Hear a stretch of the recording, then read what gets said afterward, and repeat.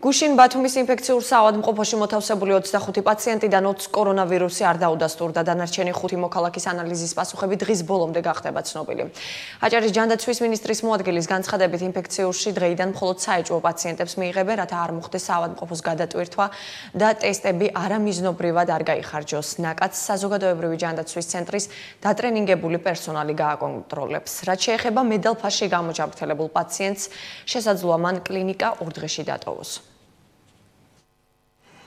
ეს დიდი ნაკადი, რომელიც დაფიქსირდა ინფექციურ საავადმყოფოში, კონტროლს დაექვემდებარება, ვინაიდან პროცესში ჩაერთვება უკვე დატრენინგებული პირველადი ჯანდაცვის ქსელი, რომელიც განსაზღვრავს აღნიშნული პირი, რომელსაც აქვს მსუბუქი რესპირაციული ჩივილები. უნდა დარჩეს პირველადი ჯანდაცვის დატრენინგებული ექიმის მეთვალყურეობის ქვეშ, თუ უნდა გადაიგზავნოს შემდგომი დიაგნოსტიკისათვის ხელების ცენტრში.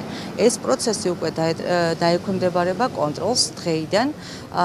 ეხლა ამ წუთის მდგომარეობით ინფექციურ საავადმყოფოში იმყოფება 5 შემთხვევა, 5 პირი, ჯამში 5 შესაძლო შემთხვევა, რომლის ლაბორატორიული ტესტირების პასუხს ველოდებით.